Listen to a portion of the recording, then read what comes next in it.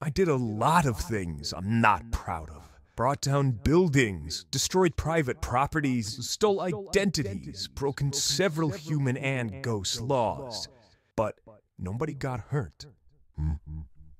I mean, maybe somebody got hurt, but nobody I knew.